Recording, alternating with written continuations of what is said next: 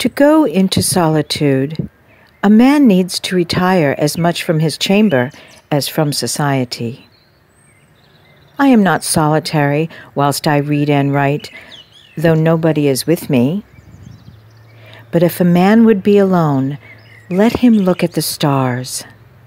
The rays that come from those heavenly worlds will separate between him and what he touches.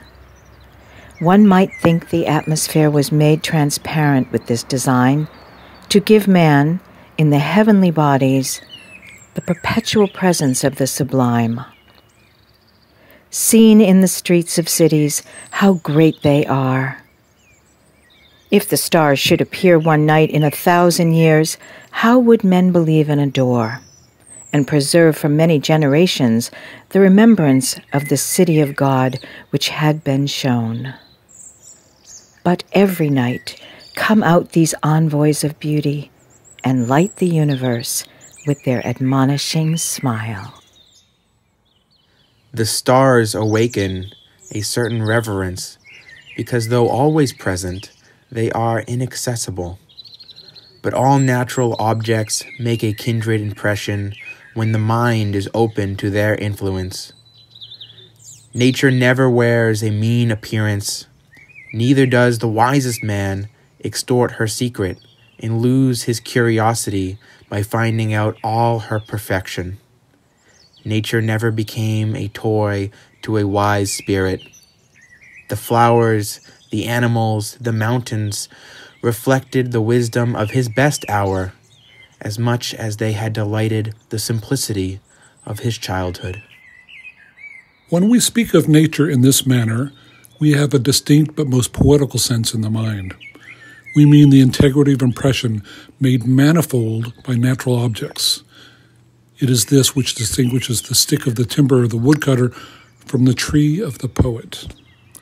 The charming landscape which I saw this morning is indubitably made up of some 20 or 30 farms. Miller owns this field, Locke that, and, and Manning the woodland beyond. But none of them owns the landscape. There is a property in the horizon which no man has, but whose eye can integrate all these parts, that is, the poet. This is the best parts of these men's farm, yet to their warranty deeds it gives them no title. To speak truly, few adult persons can see nature. Most persons do not see the sun. At least, they have a very superficial seeing. The sun illuminates only the eye of the man, but shines into the eye and the heart of the child.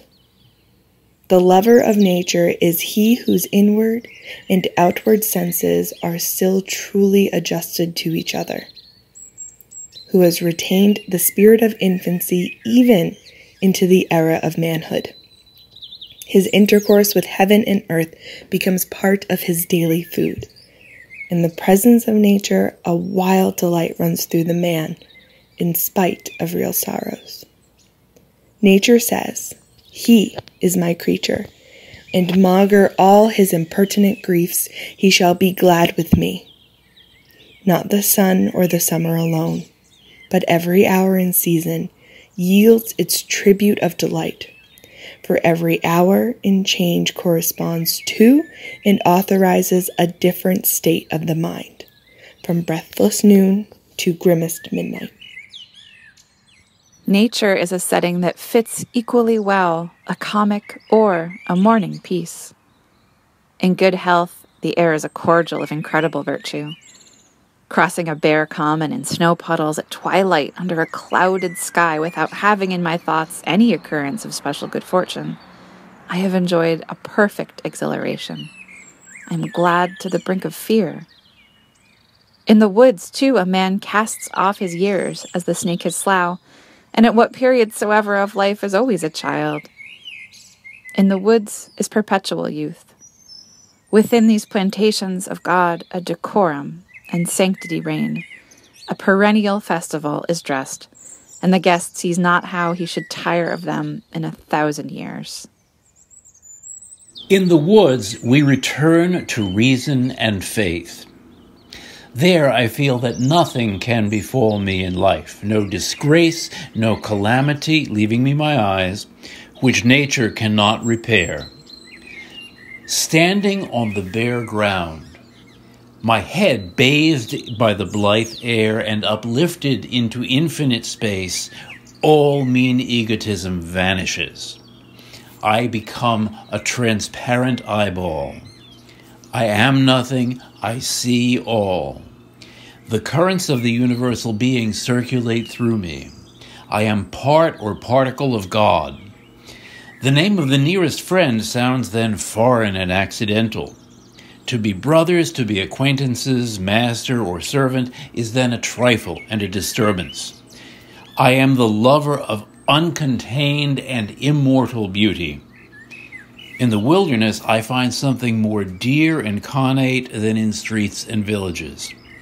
In the tranquil landscape, especially in the distant line of the horizon, man beholds somewhat as beautiful as his own nature. The greatest delight which the fields and woods minister is the suggestion of an occult relation between man and the vegetable. I am not alone and unacknowledged. They nod to me, and I to them. The waving of the boughs in the storm is new to me and old. It takes me by surprise, and yet it is not unknown. Its effect is like that of a higher thought or a better emotion coming over me when I deemed I was thinking justly or doing right. Yet it is certain that the power to produce this delight does not reside in nature, but in man, or in a harmony of both.